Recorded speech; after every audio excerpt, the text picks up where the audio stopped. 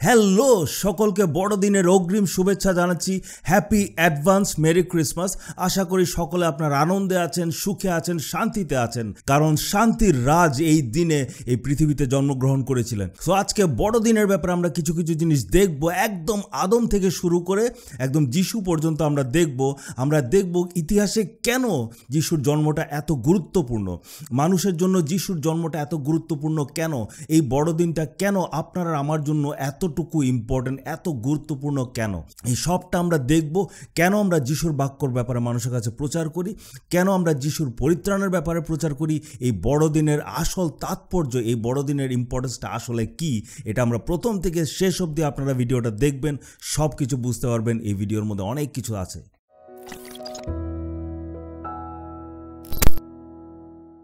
So welcome back to our channel আমাদের চ্যানেলে আপনাদেরকে আবারও স্বাগত জানাচ্ছি। যদি এখনও আমাদের চ্যানেলটাকে সাবস্ক্রাইব করেননি সাবস্ক্রাইব করে নেবেন। আর বেল আইকনটা প্রেস করতে ভুলবেন না, কারণ যদি বেল আইকন প্রেস না করেন, আপনারা জানতেই পারবেন না আমরা কত সুন্দর সুন্দর ভিডিওজ আপলোড করছি। আরেকটা জিনিস, ভিডিওটা দেখার পর যদি ভালো লাগে কাইন্ডলি লাইক দিয়ে দেবেন, একটা লাইক করে দেবেন। আর কমেন্ট করে জানাবেন কেন ভালো লেগেছে কোন জিনিসটা ভালো লেগেছে? আর যদি সত্যিকারে ভালো লেগে থাকে, অনেক বন্ধুদের কাছে ছড়িয়ে দেবেন শেয়ার করবেন, অবিশ্বাসীদের কাছেও শেয়ার করবেন, কারণ এখানে তাদের জন্য অনেক কিছু গুরুত্বপূর্ণ জিনিস রয়েছে। সো দেরি না করে আজকে টপিকে চলে যাচ্ছি। টপিকটা হচ্ছে বড়দিন আসলে এত গুরুত্বপূর্ণ কেন? দ্বিতীয়ত, আমরা কেন যিশুর কথা মানুষের কাছে প্রচার করি? এই প্রত্যেকটা প্রশ্নের উত্তরে ভিডিওর মধ্যে আমরা দেখব। প্রথম থেকে শেষ পর্যন্ত দেখবেন। তো সবচেয়ে প্রথম আমরা একটা জিনিস দেখব, এটা হচ্ছে যে কি কি ধরনের মিথ্যে কথা আমাদেরকে সমাজ বলে, মানুষ আমাদেরকে বলে বা আমরা নিজেদেরকে বলি কি কি ধরনের মিথ্যে কথা রয়েছে। প্রথম মিথ্যে কথাটা হচ্ছে এই জীবনের, মানুষের যে জীবনের কোনো উদ্দেশ্য নেই, কোনো পরিকল্পনা নেই, কোনো ডিজাইন নেই, কেউ কোনো পরিকল্পনা করে এই মানব জাতিকে তৈরি করেনি, সৃষ্টি করেনি। কেউ এই বিশ্বব্রহ্মাণ্ড নিয়ন্ত্রণে কেউ নেই। কারও কেউ এমন কেউ একজন ব্যক্তি নেই যার কাছে আমাদের সকলের জবাবদেহি করতে হবে। এমন কোনো ব্যক্তি নেই যে আমাদের বিচার করবে। আমরা বেশিরভাগ মানুষ বলি হ্যাঁ ঈশ্বর আছে, ঈশ্বর সৃষ্টি করেছে, এই করেছে, সেই করেছে। কিন্তু আমাদের চিন্তাধারা, আমাদের জীবনযাপন কিন্তু এটা দেখায় না যেমন কেউ ব্যক্তি একজন আছে যার কাছে আমাদের সকলের বিচার দিতে হবে। আমাদের জবাবদেহি করতে হবে। এমনভাবে আমরা জীবনযাপন করি না। আমাদের চিন্তাধারা হচ্ছে ঈশ্বর আছে হয়তো, কিন্তু উনি কিছু করেন না। উনার নিজেরই হাজারটা সমস্যা রয়েছে, কারণ আমরা যেই সব দেবদেবীকে আরাধনা করছি, দেখা যায় যে তাদের মধ্যে কত ধরনের সমস্যা। তাদের প্রবলেম তারা ভুল কাজ করছে, তাদের পরিবারের সমস্যা হচ্ছে, এই হচ্ছে, সে হচ্ছে। তো আমাদের আর তাদের মধ্যে বেশি একটা তফাত নেই, বেশি একটা পার্থক্য নেই। তো প্রথম মিথ্যে কথা যেটা আমরা আমাদেরকে বলি, এটা হচ্ছে আমাদের জীবনটা আমরা যেভাবে ইচ্ছা যাপন করব, এই এখন যে বর্তমান সময়টা আছে, এখন আমি যাপন করব যেমন ইচ্ছা যেটা আমার জন্য ভালো ভবিষ্যৎটা পরে দেখা যাবে। তো এইটা হচ্ছে বিরাট বড় মিথ্যে কথা, সত্যিটা হচ্ছে এই পুরো বিশ্ব ব্রহ্মাণ্ডের নিয়ন্ত্রণে একজন আছে, তিনি হচ্ছেন ঈশ্বর, উনি দুর্বল নন, উনি এমনি বসে থাকেন না, উনি কার্যকরী, উনি কাজ করেন আর একটা জিনিস হচ্ছে, উনার কাছে আমাদের সকলের গিয়ে মৃত্যুর পর বিচার দিতে হবে। উনি আমাদের বিচার করবেন, আমাদের জবাবদেহি করতে হবে। আর দ্বিতীয় মিথ্যে কথা যেটা হচ্ছে, এটা হচ্ছে যে সত্য কেউ বুঝতে পারে না। তোমার জন্য সত্য একটা, আমার জন্য সত্য একটা। যে যেমনভাবে চিন্তা করে, পৃথিবীটা এমনই। কেউ যদি ভালো, ভাবে এটা খারাপ, তাহলে তার জন্য এটা খারাপ। কেউ যদি ভাবে এটা তার জন্য ভালো, তার জন্য এটা ভালো। সত্য ইংলিশে বলে ট্রুথ ইজ রিলেটিভ ইভেন ঈশ্বরের ক্ষেত্রে আমরা একই মানসিকতা রাখি। তোমার জন্য ঈশ্বর এমন, আমার জন্য ঈশ্বর এমন। তোমার জন্য ঈশ্বর এমন কাজ করে, আমার জন্য ঈশ্বর এমন কাজ করে। তুমি যেমনভাবে ভাবো তোমার জন্য ঈশ্বর এমনই। কিন্তু সত্যটা হচ্ছে, সত্য কখনো রিলেটিভ হয় না। যেমন এক আর এক আপনি পৃথিবীর যেখানেই যান, এক আর এক সবসময় দুই হবে। মিথ্যে হাজারটা হতে পারে, এক আর এক দশ হতে পারে, এক আর এক এক কোটি হতে পারে, এক আর এক শূন্য হতে পারে, এক আর এক অনেক কিছু হতে পারে। মিথ্যের কোনো হিসাব নেই, যত ইচ্ছা হতে পারে। কিন্তু সত্য একটাই, এক আর এক দুই হয়। যেমন কি এই যে আপনারা যে আমার যে সোয়েটারটা দেখছেন, এই সোয়েটারটা যেখানে পৃথিবীর যেখানে যান সবাই বলবে এটা সবুজ রঙের সোয়েটার। ঠিক আছে? এখন কেউ যদি বলে এটাকে লাল কেউ যদি বলে এটা নীল, কেউ যদি বলে এটা সাদা, তার মানে কি? তারা মিথ্যে কথা বলছে। সত্য একটাই হয়, সত্য আপনার একটা সত্য, আমার একটা সত্য, কোনো ক্ষেত্রে এমন হয় না। এটা অবৈজ্ঞানিক কথা, এটা অযুক্তিকর কথাবার্তা। তো তার মানে কি? সত্য একটাই রয়েছে, তো যদি সত্য একটাই হয়ে থাকে সেমভাবে ঈশ্বরের সত্য তাহলে একটাই হবে। তৃতীয় মিথ্যে কথাটা হচ্ছে যে মানুষ ভালো। আমরা সবাই ভাবে যে মানুষ ভালো, প্রত্যেকজন মানুষ ভালো, কেউ খারাপ না, সবাই ভালো। তারা মাঝে মধ্যে কিছু কিছু খারাপ কাজ করে। তাদের চরিত্রের মধ্যে একটু দুর্বলতা রয়েছে বেশিরভাগ ক্ষেত্রে। আসলে কিন্তু মানুষ ভালো, সবাই ভালো। কিন্তু যেটা সত্য আমরা দেখি যে মানুষ যদি এতই ভালো হতো, তাহলে এত যুদ্ধ, অত্যাচার ধর্ষণ, মার্ডার, চুরি, এইসব ঘটনা কি ঘটতো? এটা প্রমাণ করে যে মানুষ বেসিক্যালি ভালো না। মানুষ অ্যাকচুয়ালি খারাপ, কিন্তু শিক্ষা, ধর্ম, এই সব জিনিস আমাদেরকে নিয়ন্ত্রণে রাখে, আমাদেরকে ভালো পথে নিয়ে যায়। সো মানুষ বেসিক্যালি ভালো না, মানুষ খারাপ, আপনি আর আমি, আমরা প্রত্যেকজনেই খারাপ। আমাদের বেসিক চরিত্রটাই খারাপ, আমরা সুযোগ পেলেই খারাপ কাজ করি। আমরা ভালো করি কেন? কারণ বেসিক্যালি আমরা খারাপটা করতে সুযোগ পাই না। ঠিক আছে? যারা নেতা মন্ত্রী আছে, তারা কোটি কোটি টাকা তাদের হাতে পায় এই জন্য তারা কোটি কোটি টাকা মারে। কিন্তু আমরা ছোট ছোট টাকা, দশ টাকা, কুড়ি টাকা, এমন টাকা চুরি করার আমরা সুযোগ পাই, আমরা এটা করে দিই। ওরা বড় বড় মিথ্যা কথা বলে, আমরা ছোট ছোট মিথ্যা কথা বলি। মানে কি, সুযোগ পেলে আমরাও করতাম। বেসিক্যালি বোঝা যায় যে মানুষ বেসিক্যালি খারাপ। আমরা সবাই একটা ভয়ঙ্কর জিনিসের মধ্যে লিপ্ত হয়ে আছি, আর সেটাকে বলা হয় পাপ। আর চতুর্থ মিথ্যে কথাটা হচ্ছে যে আমাদেরকে বলা হয় যে একটা মানুষের মধ্যে সবচেয়ে ভালো চরিত্র কোনটা? এটা হচ্ছে যে সহ্য করা। সব কিছু মেনে নেওয়া। হ্যাঁ তুমিও ঠিক, আমিও ঠিক তোমার দোষ আমি কখনো দেখাবো না। তুমি তো, আমার দোষ আমাকে কখনো দেখাবে না। তুমিও কারেক্ট আমিও কারেক্ট সবাই একসাথে মিলেমিশে থাকব। মানে কি, একতার নাম করে আমরা এমন ঘটনা করি, এমন কাজ করি যে যে বলছে যে ঈশ্বর মূর্তি হ্যাঁ তুমিও কারেক্ট আরেকজন বলছে ঈশ্বর মূর্তি না, ঈশ্বর নিরাকার। হ্যাঁ তুমিও কারেক্ট একজন বলছে যে মৃত্যুর পর ডাইরেক্ট বিচার। হ্যাঁ তুমি কারেক্ট আরেকজন বলছে, না, মৃত্যুর পর বিচার হবে না, পুনর্জন্ম হতে থাকবে। হ্যাঁ তুমিও কারেক্ট একজন বলছে যে, স্বর্গ যাওয়ার জন্য অনেক পথ রয়েছে। আরেকজন বলছে, স্বর্গে যাওয়ার জন্য আমি একমাত্র পথ। সবই কারেক্ট মানে দুটো অপোজিট জিনিস কীভাবে কারেক্ট হতে পারে? মানে এই সোয়েটারটা দেখে একজন বলছে, এটা সবুজ কালার হ্যাঁ তুমিও কারেক্ট আরেকজন বলছে, না না, এটা লাল কালার হ্যাঁ হ্যাঁ তুমিও কারেক্ট আরেকজন বলছে, এটা ব্লু কালার হ্যাঁ হ্যাঁ তুমিও কারেক্ট আরেকজন বলছে, সাদা কালার হ্যাঁ হ্যাঁ তুমিও কারেক্ট মানে কারোর মনে আমি আঘাত দেব না। এটা হচ্ছে এখনকার মানুষের সবচেয়ে বড় ভাবে যে এটা হচ্ছে সবচেয়ে বেস্ট চরিত্র পাওয়া। যে কাউকে কিছু বলবে না, সবাই কারেক্ট সবাই নিজের মতো চলুক, তোমার কি আসা যায়? তোমারটা তুমি দেখো। এটা হচ্ছে ভালো চরিত্র। কিন্তু আমরা জানি সবচেয়ে ভালো চরিত্র হচ্ছে ধার্মিকতা, সবচেয়ে ভালো চরিত্র হচ্ছে পবিত্রতা। আমাদের এইদিকে এগোতে হবে। নেক্সট মিথ্যে কথা যেটা আমাদেরকে বলা হয় সেটা হচ্ছে, তোমার কাছে কি আছে সেটা দিয়ে জগৎ আমাদের বিচার করে। আর আমাদের মাথাতে ঢুকে যায় হয়তো বিচার করার মাপদণ্ড এটাই, আমার কাছে কি আছে? বাড়ি আছে, গাড়ি আছে টাকা পয়সা আছে, কাপড় আছে, আমার একটা ভালো চাকরি আছে, আমার সমাজে একটা সম্মান আছে, এটা নিয়ে আমরা নিজেদেরকে বিচার করি। কিন্তু আসল বিচার হয় আমরা কিসের উপর বিশ্বাস করি? আমাদের বিশ্বাসটা কি? আমাদের বিশ্বাসটা কি? আমাদের বিশ্বাসটা কে? আমাদের বিশ্বাসটা কার উপর? আমাদের বিশ্বাসটা কিসের উপর? এটার উপর নির্ভর করে মানুষের জীবন, এটার উপরে নির্ভর করে সকল বস্তু, যে আমি কীভাবে আচরণ করি, কি কাজ করি সব কিছু এটার উপর নির্ভর করে যে আমি কি বা কার উপর বিশ্বাস করি। তারপরের যে মিথ্যা কথাটা আমাদেরকে বলা হয়, সেটা হচ্ছে জীবনের লক্ষ্য। জীবনের উদ্দেশ্য হচ্ছে সুখ, আনন্দ। শান্তি। আর এই সুখ, আনন্দ, শান্তি পাওয়ার জন্য তোমার যা করতে হয় তুমি করো।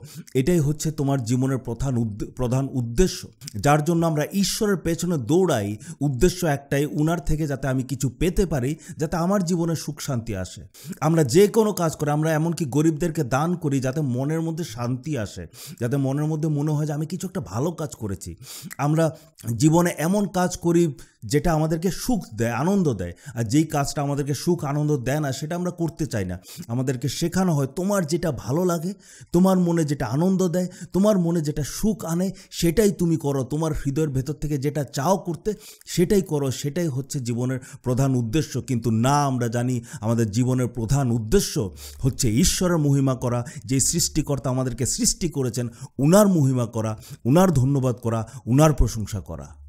আর লাস্ট মিথ্যে কথা যেটা আমাদেরকে বলা হয়, মুখে বলা হয় না, কিন্তু কাজে কর্মে সব দিকে বলা হয়, সেটা হচ্ছে মৃত্যুই সব কিছুর শেষ।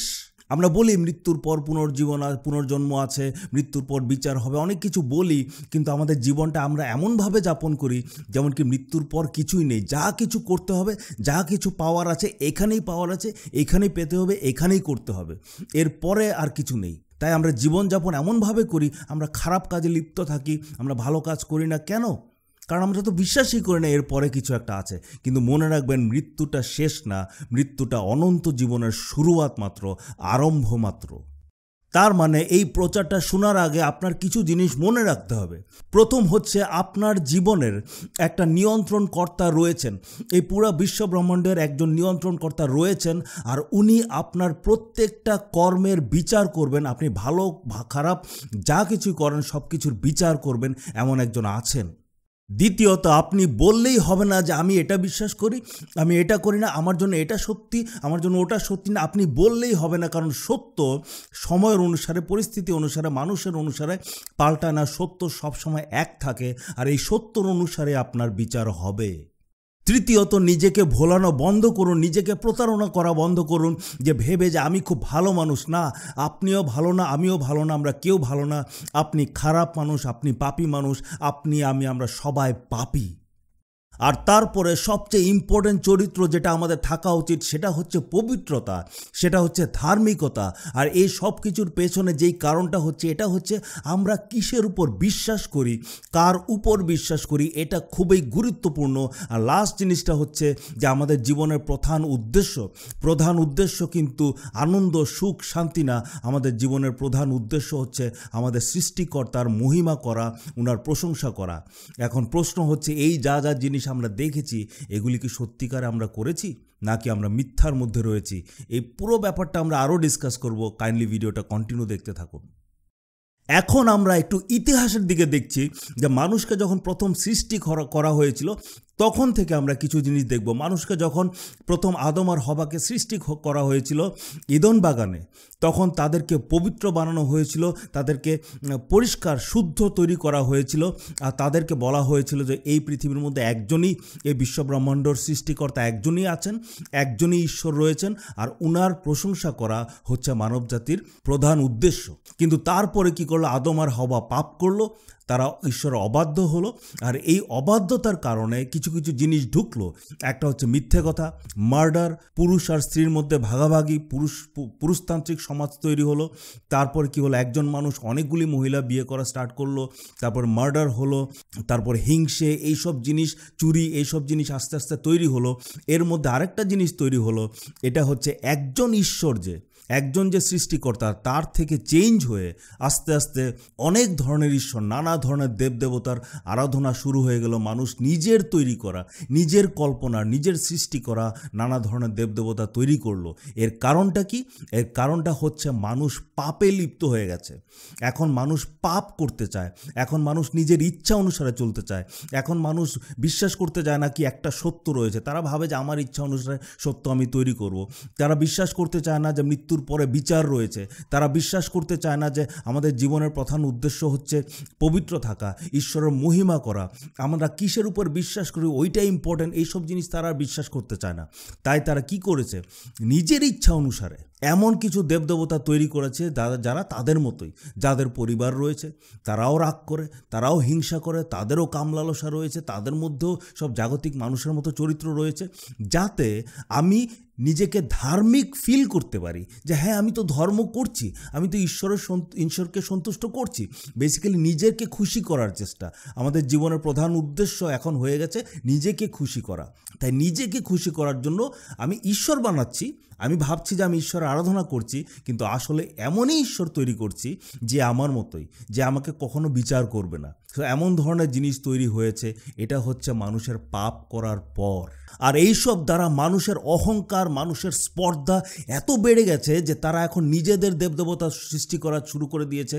তারা নিজের অনুসারে দেবদেবতা বানাচ্ছে, নিজেরা নিয়ম তৈরি করছে কালা জাদু করছে মানে ক্ষমতার লোভ চলে এসছে।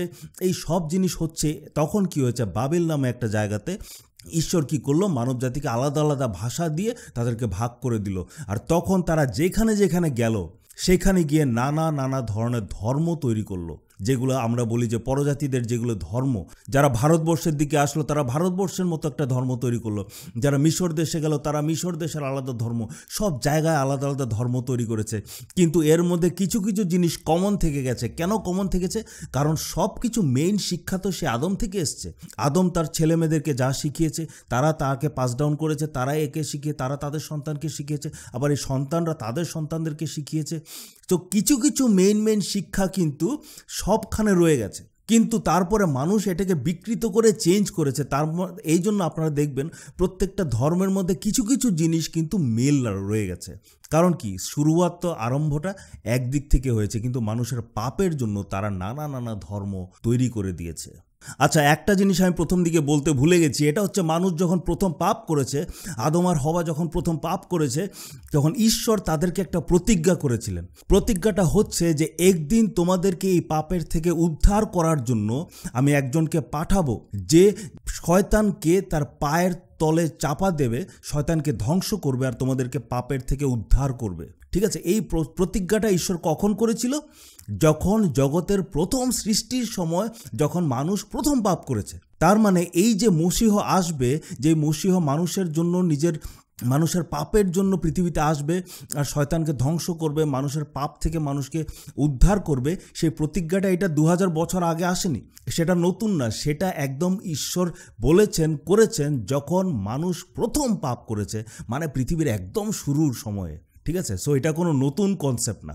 আচ্ছা যাই হোক, তারপর বাবেল থেকে কি হলো? নানা জায়গাতে মানুষ ছড়িয়ে গেল, ছড়িয়ে ছিটিয়ে গেল, সেখানে গিয়ে নিজের নিজের ধর্ম স্থাপন করা শুরু করল। সবাই সে প্রকৃত একজন ঈশ্বর যে, একজন সৃষ্টিকর্তা এই উনার এই শিক্ষার থেকে দূরে চলে গেছে। পবিত্রতায় যে, ধার্মিকতায় যে সর্বপ্রথম সবচেয়ে ইম্পর্ট্যান্ট চরিত্র, এটা মানুষ ভুলে গেছে। ঈশ্বরের প্রশংসা করা, মহিমা করা, এটাই যে মানুষের সবচেয়ে প্রথম উদ্দেশ্য, এটা মানুষ ভুলে গেছে। তারা নিজের নিজের করে সত্য তৈরি করছে। নিজের কল্পনার ঈশ্বর তৈরি করছে। তখন ঈশ্বর কি করলেন? এই পুরো পৃথিবীর মধ্যে একজন মানুষকে বাছাই করলেন। তার নাম হচ্ছে ওব্রাম। যাকে উনি পরের দিকে নাম দিয়েছে ওব্রাহাম।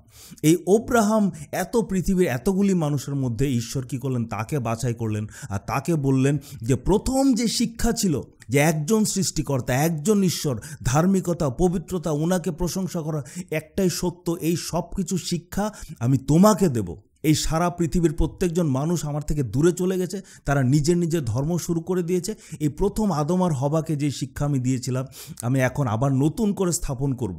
আমি যে প্রতিজ্ঞা করেছিলাম যে একজনকে পাঠাবো, যে পৃথিবীর সমস্ত পাপের থেকে মানুষকে উদ্ধার করবে, সেই প্রতিজ্ঞা দেওয়ার সময় চলে এসছে। সেই প্রতিজ্ঞা আমি তোমার থ্রু দিয়ে, তোমার দ্বারা দেব। আর তখন তাকে অব্রাহামকে বাছাই করল। আর অব্রাহামকে বাছাই করে বলল যে, তুমি হবে পৃথিবীর মধ্যে এমন মানুষ যে আমার আগের যে নিয়মটা ছিল একজন ঈশ্বর, ধার্মিকতা, পবিত্রতা, একটা সত্য, ঈশ্বর প্রশংসা, সেটা তুমি আবার স্থাপন করবে, সেটা তুমি আবার করবে।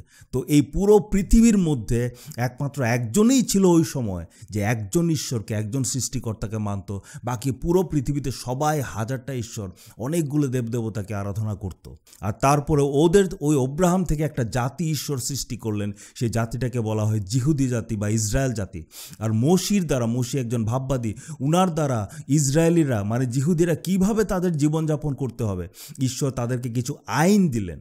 যেটাকে ইংলিশে বলা হয় জুডাইজম বা জিহুদি ধর্ম বলা হয়, অনেকে বলে জিহুদি ধর্ম। সো এটা হচ্ছে ঈশ্বর তাদেরকে কিছু নিয়ম কানুন দিয়েছে যে তোমরা নিজেদেরকে অন্য এই যে যারা যারা এক অনেকগুলি দেবদেবতা আরাধনা করে তাদের থেকে পৃথক রাখার জন্য তোমাদের কি করা উচিত সেই নিয়ম কানুন ঈশ্বর তাদেরকে দিয়ে দিলেন। মানে কি ঈশ্বর যে একজন ঈশ্বর, একজন সৃষ্টিকর্তা, ধার্মিকতা, পবিত্রতা, ঈশ্বর প্রশংসা, একটাই সত্য, এই সব কিছু জিনিসকে আবার স্থাপন করার চেষ্টা করেছে, এই পৃথিবীর মধ্যে একটা জাতি দ্বারা সেটা হচ্ছে জিহুদি জাতি। আর এই জিহুদি জাতির কাছে ঈশ্বর নানা ভাববাদী দ্বারা প্রতিজ্ঞা করেছেন প্রমিস করেছেন যে একজন মসিহ তোমাদের থ্রু দিয়ে, তোমাদের দ্বারা আমি পৃথিবীতে পাঠাবো। সেই আদমকে যে প্রতিজ্ঞা আমি করেছিলাম সেই প্রতিজ্ঞা তোমাদের দ্বারা, তোমাদের জাতি দ্বারা আমি পূর্ণ করব। আর এটা বোঝানোর জন্য নানা ভাববাদী দ্বারা নানা ভবিষ্যবাণী করেছিল যাতে যখন সেই মসিহ পৃথিবীতে আসে, যখন সেই ব্যক্তি পৃথিবীতে আসে, তারা যাতে চিনতে পারে। কিছু কিছু চিহ্ন দিয়েছিল, বলেছিল তার জন্ম কুমারী গর্বে হবে আর বেতলেহেম নগরে হবে। আর বলেছিল সে মানুষের পাপ হরণ করার জন্য, পাপটা নিয়ে যাওয়ার জন্য পৃথিবীতে আসবে। আর এও বলেছিল যে মানুষের পাপের ক্ষমা সে আনবে, তার নিজের মৃত্যু দ্বারা এগুলি সব ভবিষ্যবাণী করা হয়েছিল। আর এও ভবিষ্যবাণী করা হয়েছিল যে তাকে মারা হবে, যদিও সে নির্দোষ, সে ইনোসেন্ট তারপরেও তাকে হত্যা করা হবে, মারা হবে। আর এও ভবিষ্যবাণী করা হয়েছিল যে তাকে ক্রুশের উপরে মারা হবে, যেটা ভবিষ্যবাণী যীশুখ্রিস্ট আসার হাজার হাজার বছর আগে, শ শ বছর আগে এইসব ভবিষ্যবাণী করা হয়েছিল। আর এমনও বলা হয়েছিল তার কবর কোথায় হবে? এই সব কিছু সে কি কি অলৌকিক কাজ করবে? সব কিছু আগের থেকে সেই জিহুদি জাতিদেরকে ঈশ্বর বলে দিয়ে গিয়েছিল যাতে যখন উনি আসেন, তখন সবাই যাতে ওনাকে চিনতে পারে, বুঝতে পারে। যখন সেই জিহুদি জাতিকে ঈশ্বর মিশর দেশ থেকে নিয়ে এসছে, নিয়ে এসে তাদেরকে স্থাপন করেছে, তাদেরকে নিয়ম দিয়েছে, তাদের কাছে ভবিষ্যবাণী করেছে, ওইটা এমন একটা সময় যখন ভারতবর্ষে তখন বুদ্ধিজম ধর্ম, জেনিজম ধর্ম এইগুলির প্রচলন শুরু হয়েছে। একদিকে এই সব ঘটনা ঘটছিল, আর একদিকে ঈশ্বর তার পরিকল্পনা যেই যেই প্রতিজ্ঞা উনি আদম আর হবাকে প্রথম মানুষ আর প্রথম স্ত্রীকে করেছিলেন যে প্রতিজ্ঞা উনি বলেছিলেন যে আমি এমন একজনকে পাঠাবো যে সব মানুষের পাপটা নিয়ে নেবে, তাদেরকে উদ্ধার করবে, সেই পরিকল্পনাটাকে প্ল্যান প্ল্যান আউট করে, সেই পরিকল্পনাটাকে তৈরি করার জন্য ঈশ্বর প্রস্তুতি নিচ্ছিল, জিহুদি জাতিকে ভালোভাবে তৈরি করছিল। আর তারপর আমরা দেখলাম যে জিহুদি জাতির থ্রু দিয়ে সেই ঈশ্বরের সন্তান, সেই মসিহ, সেই ইতিহাসের যে যে মানুষ, যে ব্যক্তি মানুষের পাপ হরণ করবে যে কুমারী গর্ভে জন্ম হবে, যে বেতলেহম নগরে জন্ম হবে, যে মানুষের পাপ নিয়ে যাবে, যে শয়তানকে ধ্বংস করবে, যাকে ক্রুশে মারা হবে, যে নির্দোষ কিন্তু তারপরেও তাকে মারা হবে, সেই মসিহর সেই ঈশ্বরের মানব সন্তানের জন্ম হলো। যিশুর জন্ম হয়েছে কুমারী গর্ভে মরিয়মের গর্ভে জন্ম কোথায় হয়েছে? বৈতলহম নগরে। মানে ঈশ্বর যা যা প্রতিজ্ঞা করেছিলেন, এই প্রত্যেকটা প্রতিজ্ঞা একটা একটা করে সম্পূর্ণ হয়েছে, পূর্ণ হয়েছে। জিহুদির মানুষরা যাতে বুঝতে পারে, পৃথিবীর মানুষরা যাতে বুঝতে পারে, সেই মসিহ পৃথিবীতে এসছে। আর আজকের এই বড় দিনে, এই সেই দিন যেদিন ঈশ্বর যে প্রথম মানব জাতিকে প্রমিস করেছিল, প্রতিজ্ঞা করেছিল, সেই প্রতিজ্ঞাটা পূর্ণ হয়েছে আজকের এই বড় দিনে। সো যীশু খ্রিস্টর জন্ম শুধুমাত্র একটা অকস্মাৎ হঠাৎ হয়ে গেছে এমন না, এটার প্ল্যানিং চলছিল পরিকল্পনা চলছিল কখন থেকে? দু হাজার বছর আগে? না, এটার পরিকল্পনা চলছিল সেই ঈশ্বর যখন প্রথম মানুষকে প্রতিজ্ঞা করেছিলেন, মানব জাতি যখন প্রথম পাপ করেছিলেন যীশুখ্রিস্টর কোনো ধর্ম স্থাপন করতে আসেনি যীশুখ্রিস্ট কোনো নতুন কিছু শিখাতে আসেনি যীশুখ্রিস্ট সেই প্রথম একজন ঈশ্বর একজন সৃষ্টিকর্তা ধার্মিকতা, পবিত্রতাই হচ্ছে মানুষের প্রধান লক্ষ্য। মানুষের প্রধান উদ্দেশ্য হচ্ছে ঈশ্বরকে প্রশংসা করা। সত্য শুধু একটাই, আমাদের একদিন বিচার হবে, বিচারকর্তা ঈশ্বর আছেন। সেই জিনিসটা যে মানুষ ভুলে গেছিল, মানুষ যে হারিয়ে গিয়েছিল, সেটাকে আবার স্থাপন করার জন্য, সেটাকে আবার মানুষের কাছে নিয়ে আসার জন্য, আমাদেরকে আবার সেই একজন ঈশ্বরের দিকে টেনে আনার জন্য যিশু পৃথিবীতে এসেছিলেন। সো আমরা যে মানুষে যে বলে খ্রিস্টান ধর্ম, যীশু খ্রিস্টর সময় এসছে, না, এটা কোনো খ্রিস্টান ধর্ম তো প্রথম কথা মানুষ যিশু, যীশুখ্রিস্ট তৈরি করেননি। যিশুর শিষ্যরা বলেননি যে আমরা খ্রিস্টান ধর্ম স্থাপন করতে এসেছি। এটা পরের দিকে এসছে। তাও পরজাতির এই নামটা দিয়েছিল, খ্রিস্টান নামটা শিষ্যদেরকে নাম দিয়েছিল পরজাতি। খ্রিস্টানরা নিজেরাই নামটা নেয়নি। কিন্তু যেটা আমি বলতে চাচ্ছি, এটা হচ্ছে যে যীশুখ্রিস্ট কোনো নতুন ধর্ম স্থাপন করতে আসেনি। কোনো সমাজে কোনো চেঞ্জ নিয়ে আসতে আসেনি। কিন্তু যীশুখ্রিস্ট সেই সেই সম্পর্ক, ঈশ্বরের সাথে যে সম্পর্ক আমরা হারিয়েছি, নিজের অহংকারের জন্য, নিজের স্পর্ধার জন্য, নিজের পাপের জন্য, নিজের জিদের জন্য যে সম্পর্ক আমরা হারিয়েছি সেটাকে আবার স্থাপন করার জন্য, সেটাকে আবার ঠিক করার জন্য যিশু পৃথিবীতে এসেছিলেন। যে পাপের জন্য আমরা সব কিছু হারিয়েছি, সেই পাপটাকে ক্ষমা করার জন্য, সেই পাপটাকে ধ্বংস করার জন্য, সেই পাপটাকে মুছে মুছে নেওয়ার জন্য, সেই পাপটা আমাদের থেকে দূরে নেওয়ার জন্য যীশু খ্রিস্ট পৃথিবীতে এসেছিলেন। আর সেই কাজটা উনি কীভাবে করেছেন? উনি করেছেন, উনি নিজেকে আপনার আমার পাপের জন্য বলি দিয়েছেন। ঈশ্বর নিজের একমাত্র পুত্র, সন্তান যীশুখ্রিস্টকে নিজের হাতে ক্রুশে বলি দিয়েছেন যাতে সেই রক্ত দ্বারা, সেই বলি দ্বারা আপনার আমার পাপ ক্ষমা হয়। কারণ এই পাপ আমাদেরকে ঈশ্বর থেকে দূর করেছে। এই পাপ আমাদেরকে আমাদেরকে অন্ধ করে রেখেছে। এই পাপ আমাদেরকে বুঝতে দিচ্ছে না যে একটাই সত্য রয়েছে। এই পাপ আমাদেরকে বুঝতে দিচ্ছে না যে বিচার আমাদের একদিন হবে। এই পাপ আমাদেরকে বুঝতে দিচ্ছে না যে পবিত্রতার ধার্মিকতাই হচ্ছে সবচেয়ে ইম্পর্ট্যান্ট সবচেয়ে ইম্পর্ট্যান্ট সবচেয়ে প্রধান উদ্দেশ্য হচ্ছে ঈশ্বরের প্রশংসা করা, ঈশ্বরের আরাধনা করা। এই সব কিছু আমাদেরকে বুঝতে দিচ্ছে না কি জিনিস? এটা হচ্ছে পাপ। আর যখন আপনি যিশুর সেই রক্তের উপর, যিশুর সেই বলিদানের উপর উপর বিশ্বাস করবেন, আপনার সেই পাপ ধুয়ে মুছে একদম সরে যাবে। আপনি ধপধপে সাদা, একদম পবিত্র হবেন। আপনি পবিত্র না, আপনার ভেতরে পাপ রয়েছে, কিন্তু ঈশ্বর আপনাকে পবিত্র করবে। ঈশ্বর যিশুর রক্ত, যিশুর সেই পবিত্র রক্ত আপনাকে পবিত্র করবেন, আর তখন আপনার চোখ খুলে যাবে। আপনি বুঝতে পারবেন, আমি এত বছর, এত দিন ধরে অন্ধর মতো ছিলাম। এখন আমি সত্যটা জানতে পেরেছি। এখন আমি বুঝতে পেরেছি যে এটা কোনো একটা ধর্ম না, এটা কোনো একটা জীবনযাপন করার একটা পদ্ধতি না, যে এটা করলে আমার জীবন সুন্দর হবে, এটা করলে আমি ভালো হব। না না, এটা হচ্ছে ঈশ্বরের সেই প্রতিজ্ঞা। যখন মানুষ প্রথম পাপ করেছে, সেই প্রতিজ্ঞাটার পূর্ণতা হচ্ছে এটা। ঈশ্বর চুপচাপ বসে থাকে না, ঈশ্বর নিষ্ক্রিয় না। ঈশ্বর আমাদেরকে রক্ষা করার জন্য, উদ্ধার করার জন্য এই হাজার হাজার বছর ধরে পরিকল্পনা করেছে প্ল্যান করেছে প্ল্যানটাকে বাস্তবায়িত করেছে। আর আপনাকে একটা সুযোগ দিয়েছে, আমাকে একটা সুযোগ দিয়েছে যাতে আমরা সেই আগের সম্পর্ক আবার ফিরে পেতে পারি। আমরা যাতে সেই নিরাকার ঈশ্বরকে আবার আরাধনা করতে পারি। আমরা যাতে সেই একমাত্র একজন একজন অনেকগুলি না, একজন সৃষ্টিকর্তা ঈশ্বর, যিনি শক্তিশালী, সর্বশক্তিমান, সর্বজ্ঞানী, যিনি পবিত্র, যিনি রাজাদের রাজা, যিনি প্রভুদের প্রভু। এই ঈশ্বরের আরাধনা আমরা যাতে আবার ঠিক করে করতে পারি, যাতে আমরা সেই ঈশ্বরের কাছে যেতে পারি, যাতে সেই ঈশ্বরের সাথে সম্পর্ক আবার ঠিক করতে পারি। সো আজকে ভাই বোনেরা, যদি আজকে আপনি এখন পর্যন্ত যীশু খ্রিস্টকে গ্রহণ করেননি, যদি এখন পর্যন্ত আপনি যিশুর উপর বিশ্বাস স্থাপন করেননি আজকের সময় আপনি যিশুর উপর বিশ্বাস করুন, যিশুর সেই পবিত্র রক্তের উপর বিশ্বাস করুন, যিশুর সেই বলিদানের উপর বিশ্বাস করুন, আপনার সকল পাপ ক্ষমা হয়ে যাবে। আপনার পাপ আপনাকে ঈশ্বরের সাথে সম্পর্ক থেকে বাধা দিচ্ছে। আপনি যত ইচ্ছা ধর্মকর্ম করুন। আপনি যত ইচ্ছায় ভালো কাজ করুন, কিন্তু আপনার জীবনে একটা পাপ পর্যন্ত আপনাকে শেষ করে দিতে পারে। কিন্তু যীশু খ্রিস্ট সেই পাপ ক্ষমার জন্য পৃথিবীতে এসছেন।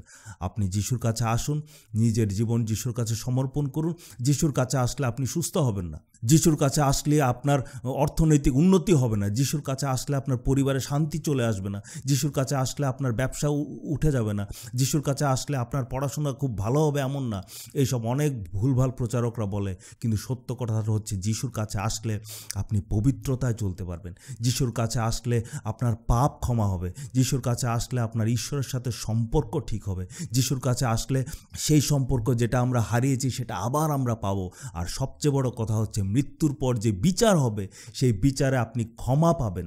সেই বিচারে যদিও আপনি জীবনে পাপ করেছেন, সেই সব প্রত্যেকটা পাপের ক্ষমা হবে। আর আপনি ঈশ্বরের সাথে অনন্তকাল অনন্তকাল এক বছর, দুই বছর, একশো বছর, এক হাজার বছর, এক কোটি বছর না, অনন্তকাল যেটা সময়ের কোনো সীমা নেই, ততদিন আপনি ঈশ্বরের সঙ্গে থাকতে পারবেন, আনন্দে থাকবেন, সুখে থাকবেন। ওখানে স্বর্গে কোনো ধরনের দুঃখ, কষ্ট, যন্ত্রণা কিছু নেই, চোখের জল নেই, অসুস্থতা নেই, পাপ নেই, আপনি সুন্দরভাবে থাকতে পারবেন। যিশুর কাছে আসুন।